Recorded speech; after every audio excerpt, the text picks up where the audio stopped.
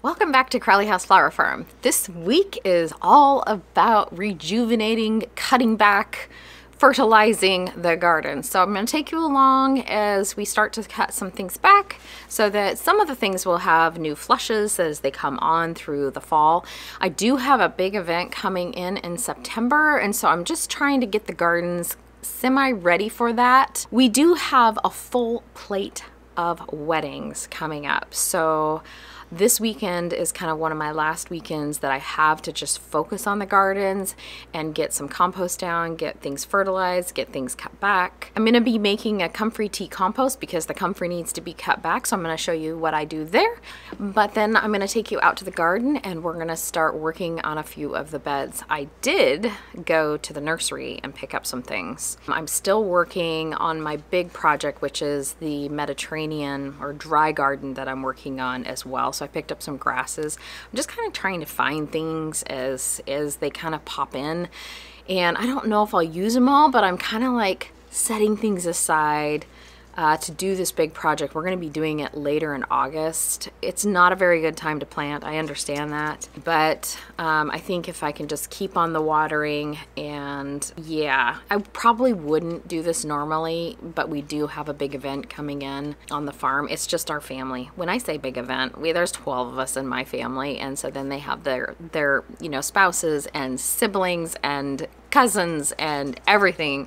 So it is just a big event. so I think there's going to be probably over, I don't know, 40 people here or something like that, 50 people. So I just kind of like, it kind of inspires me to kind of get spots in the garden, just kind of, you know, ready. And I don't know, it gets me out there and inspired because I think sometimes we all, I don't know about you, but we kind of tend to get lazy, especially when it gets hot. But uh, this garden I've been really thinking about and I'm really trying to put my, you know, stretch my gardening uh, thoughts, I guess, and really thinking through. A lot of times I just pick up things and I know what goes well together and I have fun with that. But this one I'm really trying to lay out and do a better job with that. So I'll probably take you over and just show you what I'm talking about because it's been a while since I've showed you the spot that I'm working on. But um, for now, we're just going to stay close to the house. I've got a few things I'm going to show you here in just a minute that I picked up from the garden center uh, that we're going to pop into the gardens. And just to make it a little more eye-pleasing, because right now, I tell you, it's not super great. So this is the little garden that I'm going to be working on today or this morning. It's basically just this little island that's off the house. I'm going to be working on the front side of it, and this is the side that you see from the driveway or the studio, and it's just a little overgrown. It has a very large rose, which is more of like a shrub rose, little tiny, almost like a um, tea rose or something like that. I don't know the name of it, but it's beautiful, kind of white blush. And then it's got some blackberry in it. It's got some grapevine. It has some thistle it has a dead dogwood. It has all kinds of things that are lovely and not attractive when you first pull in. So I just bought a few things to kind of tuck in. I'm going to be cutting back a few things and just putting in some compost, a little bit of fertilizer, and hoping it will look a little bit better than it does when I'm done. So I thought I'd take you along as I do that. I just wanted to take a moment and show you these beautiful hostas are starting to bloom just in their prime. I love that light lavender against the seafoam green. Isn't that gorgeous? These are the little planters, the wine barrel, half wine barrel planters up by the house. But it's so pretty, just accented against everything there when they bloom. It's just a short little window of time that they look stunning like this, but they're just so delicate, don't you think? I don't know if you guys like to grow hostas, but I do. This is one of my favorites to grow. Since we're up on the porch, I thought I would just give you a quick look and update on our potted plants that we did here. They are looking voluptuous. Look at that begonia, you guys. The leaves are incredible.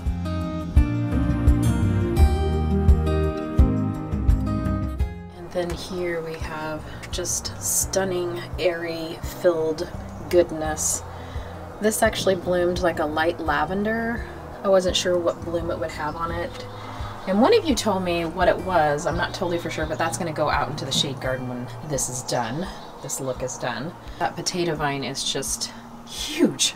I have a feeling it's gonna spill out all the way to the ground. I'm gonna have to trim it up.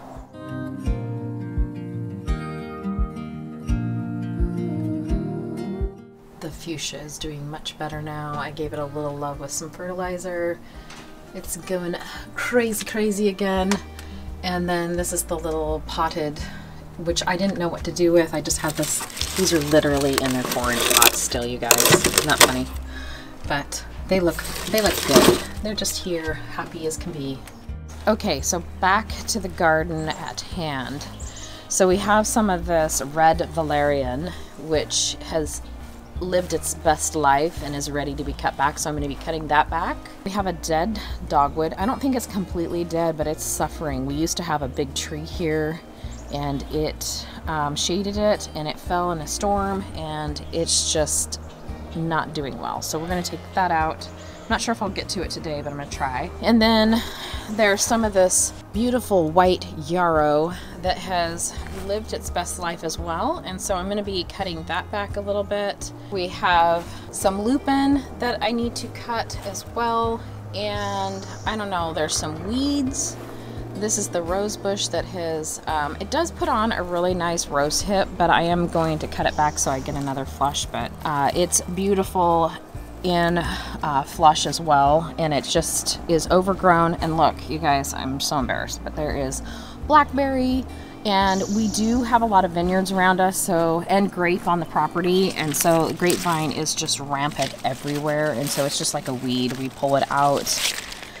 Um, it would take over this property for sure. This is a Jurassic mullein isn't that gorgeous you guys it is huge. It is loving its life here as well and it's just stunning. So I'm leaving it. Okay so this is where a tree fell and we had this big beautiful plum tree right here and it fell in a wind an ice storm and so I've just kind of filled it in because I want a particular tree here and I'm not sure exactly I might do a mimosa or a crab apple or something like that. This I just filled in with some things that we had left over, starts and things like that. I think there's some amaranth in here and there's some dahlias coming up. I think they're cafe au lait. There's another mullein over there and this is called apple of Peru. It's been bug eaten a little bit and I'm not sure what's eating it, but it still is putting on. You can kind of see some of these little blooms here. They're kind of like a, okay, here's one. They're putting on these beautiful little blooms. They're kind of like a pale, pale periwinkle. And then they just have these kind of fun little, like almost lantern type style buds afterwards, which is really pretty. Okay, so we also have some salvia in here, which I love salvia. This is the blue salvia. I'll try and get to its name. I actually have some Lisianthus kind of tucked in here, kind of got hidden this year. So it is literally a mess. A mess, a mess. Look, there's plum branches coming up. There's a peony in here. I don't even know how it's surviving, but look at this mess, you guys. And sometimes I just kind of ignore it for a while until I can get to it because we have so many other things going on. But as you can see, this is literally right off the house. And so my project this morning is to just take this area right here and clean it up, get fresh compost down, some fertilizer, get all these vines out, trim up that rose bush. Um, I'm thinking I'm going to take that dogwood out and look at, there's even a thistle in here. Oh my gosh, you guys, it's so embarrassing. But you know what? This is my life. This is what I deal with. And it will look really pretty when it's done. It's just gonna take some time and a little bit of elbow grease. So here I go.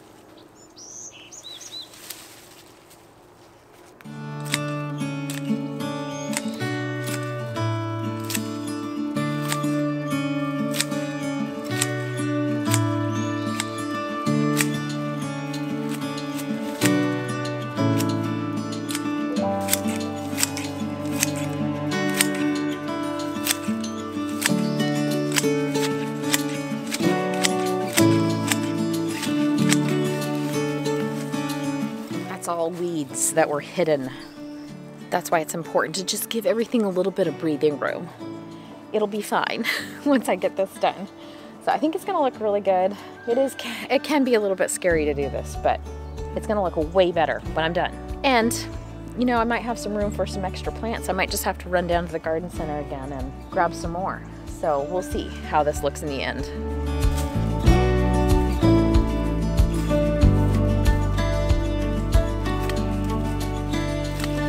Super tempting to leave foliage and dead seed heads partly because it can be scary just to take them out and then not have anything there or it look blank or dead or kind of gross, but it's also a really good time to get underneath there, cut everything back. There's usually some sort of weed underneath there that needs to come out that is hiding underneath all that foliage that is spent. The other good thing about cutting things back is a lot of times things will flush again late summer and you're just gonna get this absolutely stunning show. So as hard as it can be or as scary as it can be to cut things back, don't be afraid to do it.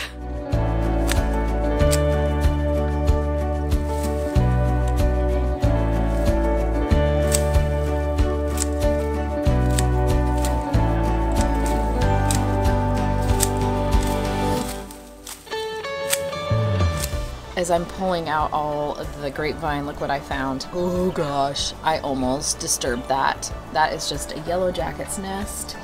They're still sleeping, but there's probably 20 of them on there. I'm gonna have to take care of that. So what I think I'm gonna have to do is just clear enough underneath this rose bush to get to where the blackberry is and the grapevine and cut that way back all the way to the ground. I might just spray a little bit of something on both of the just the canes themselves to try and get them to not do this again next year. We'll see if I can get to them. It's quite the job.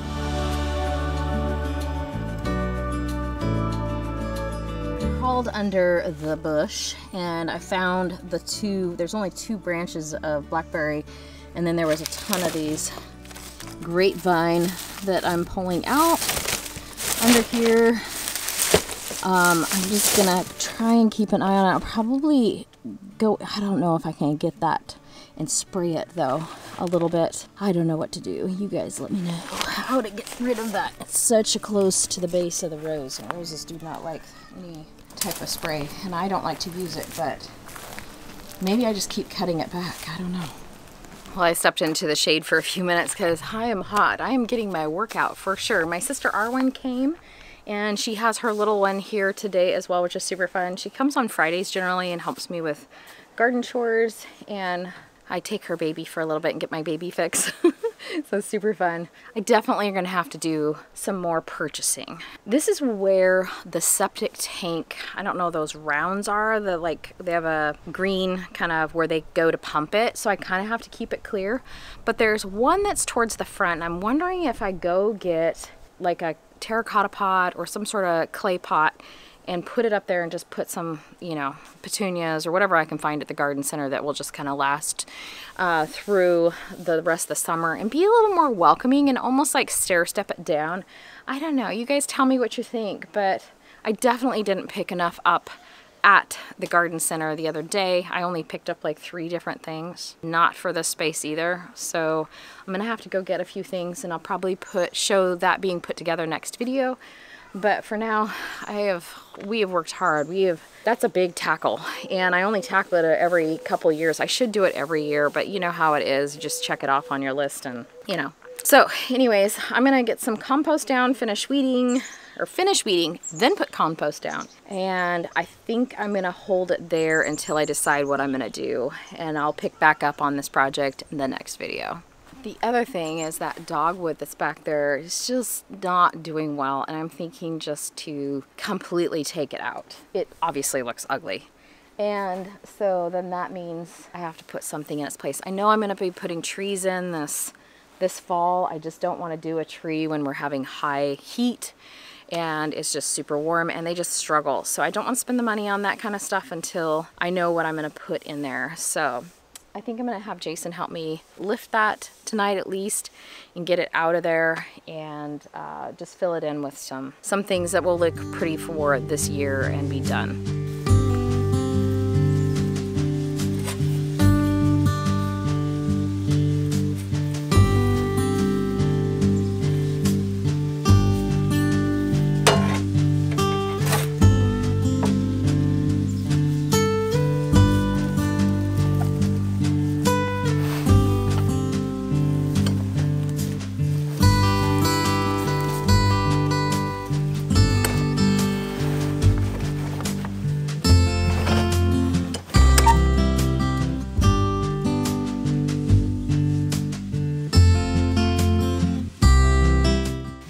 Arwen and I are just finishing up and all I got for this little garden is some Rozanne Crimsonbill. I think I'm saying that right. It's a geranium, an ever, um, a hardy geranium. And so it's kind of like a blue.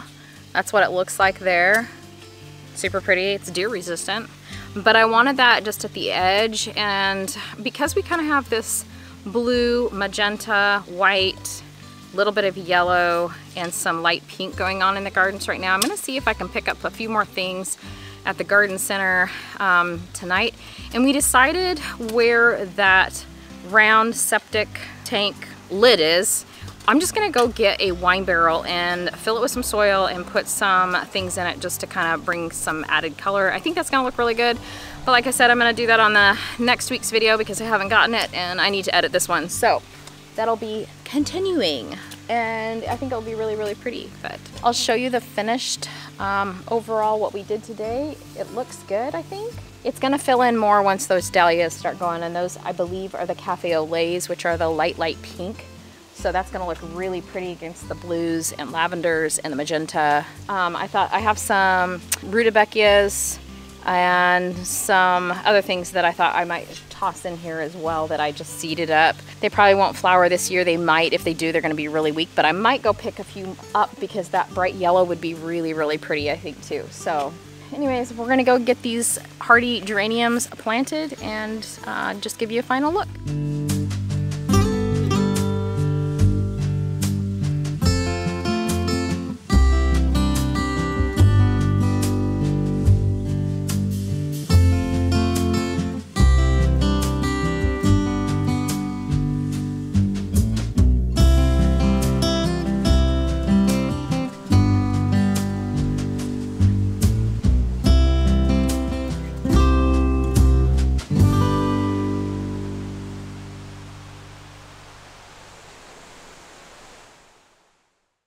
So comfrey tea is something that is easily made. Basically, you take all the leaves and I'm gonna pull from the outside of the plant and leave kind of the center crown. And I'm going to put it in a big bucket you can use a garbage can, whatever you have, and then just cover it with water. It's super simple. And then you just want to wait for about two to three weeks until it stops bubbling. The one drawback to making comfrey tea as a fertilizer is it stinks really bad. So you want to make sure you have a lid and far away from where your house is, or in my case, it's super easy. It's on the back side of the greenhouse where we have our composting piles. And I'm just going to get a fresh batch made. So comfrey tea is almost like using like fertilizer like you would from the chicken coop, like collecting all the chicken poo and letting it rest and then putting it on your garden. It's really good that way. And comfrey basically draws up all the nutrients that are down deep into the soil and brings them up to the surface and into the leaves. So you can take those leaves and turn them into something that then can be used as um, a foliator. So basically we can put it in a backpack sprayer and spray like all of our flowers and that kind of thing. A lot of times I don't spray, um, you know, it's just when it's about ready to flower or we're trying to keep, um, so it kind of helps keep like powdery mildew off like squash leaves and things like that. So the other benefit to it is that you can also put it around like the bottom base of like fruit trees and just fill it in a bucket and dump it around. You never want to use it 100% strength. You kind of want to do a 1 to 10 ratio. So just adding a little bit to your bucket, adding some water, and then just drenching the plant. We do a lot of that even with fish emulsion here on the farm. So our new little starts, that kind of thing, we will do a fish emulsion really weak. So any fertilizer, you have to be super careful that you won't burn your plant or kill it. So it's all in moderation. So I'm gonna get at it here before it gets too warm today.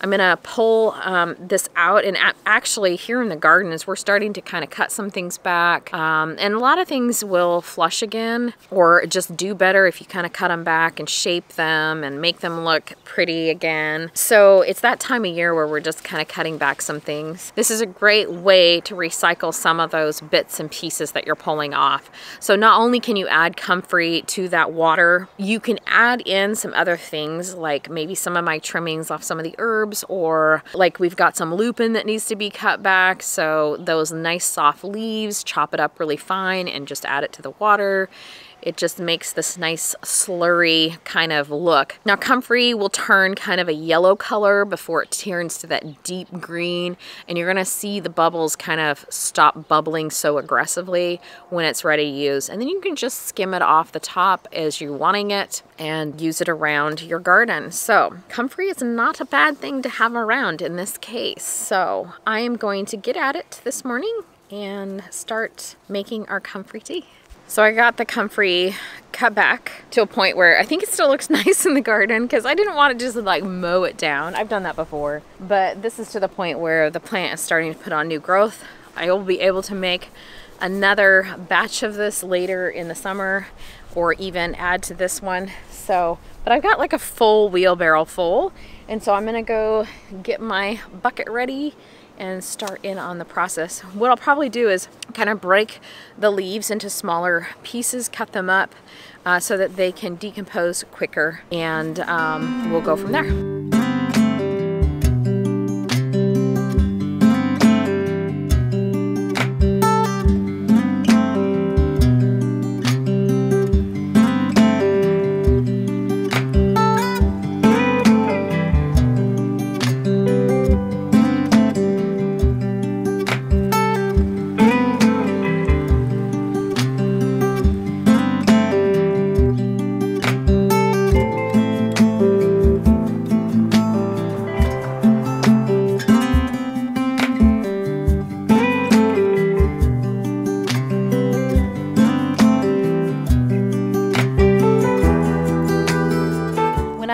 Going to cut back the gardens this time of year. One of the things is on my list is actually my petunia baskets. This is a basket that I just put on a wine barrel and then I just um, cut off the little hanger part and it just looks beautiful. But it starts to get a little ratty at the bottom. So what I do is just go in and cut a little bit off, give it a haircut and it just does a beautiful forest the rest of the season. So I'm gonna go around and do some of our baskets that way. This is the one that needs it the most. I think the other ones are still, you know, doing okay, but I'm gonna get tackle this one today as well. There is a good little tip for you if your basket is looking a little scraggly or a little overgrown or just not doing as well, give it a haircut and uh, see how it will bounce back. So I just have like a tote behind me that I use and it's kind of falling apart. So eventually I'm gonna have to get something that will work a little bit better over time. I'm gonna maybe just get like a garbage can with a lid on it, like the plastic ones. So, but this is what I have to use now. So I'm gonna go ahead and put my comfrey leaves in, kind of break them apart, add some water just to cover them, and put the lid back on and walk away.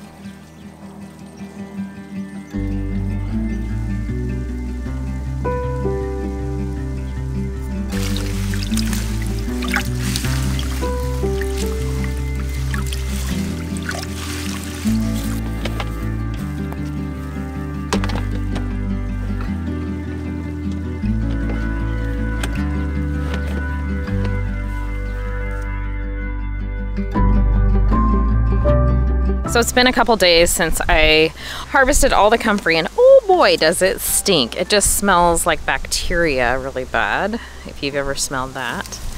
But um, I'm just gonna give it a quick stir. See all those bubbles? Ugh, it's disgusting.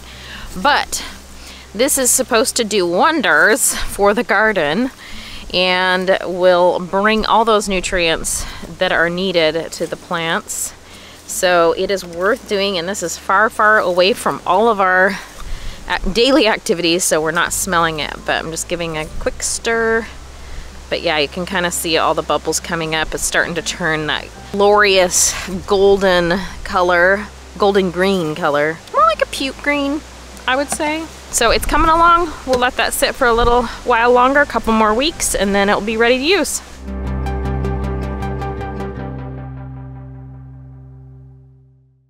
Well, thanks for joining me again here at Crowley House Flower Farm. I hope that inspired you to get out there and cut a few things back so you can have another flush of flowers and beauty come this fall. I know I love fall because there's just so much going on in the garden. All the dahlias and all the beautiful like rudbeckia, the echinaceas, the sunflowers. I mean, the list is long. That is the most lush time of year in the gardens.